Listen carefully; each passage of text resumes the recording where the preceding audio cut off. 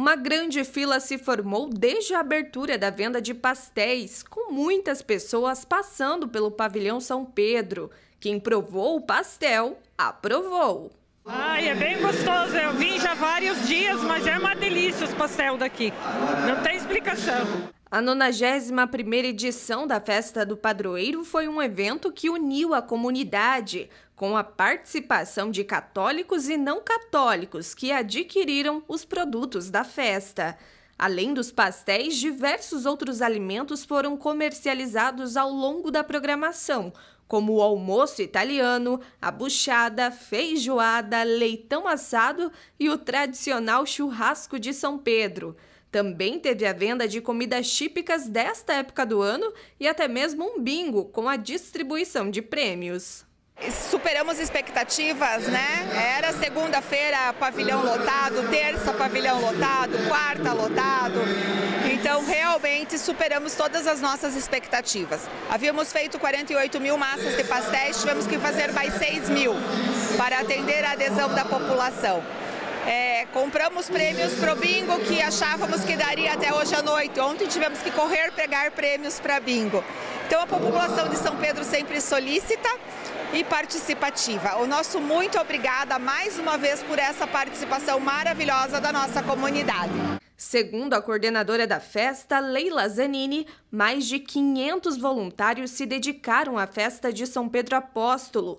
O valor arrecadado com o evento ainda será divulgado, Porém, parte dessa arrecadação será destinada à reforma e ampliação do pavilhão São Pedro.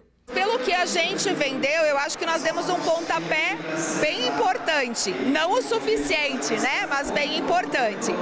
Agora, na quarta-feira, a gente fez o lançamento da rifa da Ação Entre Amigos de São Pedro, que está com o primeiro prêmio um carro zero quilômetro, segundo prêmio uma moto zero quilômetro, terceiro prêmio um kit bar quarto prêmio um refrigerador Free de duas portas e o quinto prêmio um ar-condicionado.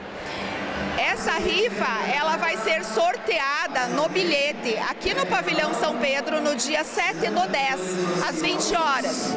Além das festividades, a comunidade também se engajou em uma novena em homenagem ao padroeiro durante 10 dias. E o nosso projeto de São Pedro Apóstolo está sempre cada vez aumentando mais para realizar o sonho e também trazer sempre na nossa cidade essa experiência do amor, da alegria e que Pedro sempre cuide a nossa vida, a nossa caminhada, ele que tem as chaves da porta do céu, que no dia que nós chegarmos lá ele possa abrir as portas para a gente entrar alegre, feliz, contente no reino de Deus.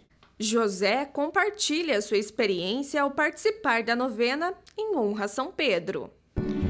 É celebrar né, com muita alegria, harmonizado com a comunidade. Aquela parte importantíssima que é a figura de Pedro, né? Está presente, está junto. Pedro veio do povo, com o povo encontrou Jesus e nós fazemos a mesma caminhada. Junto com Pedro, nós encontramos Jesus e vivemos essa experiência de celebrar esse dia tão importante para a nossa comunidade que é na festividade que está acontecendo, né?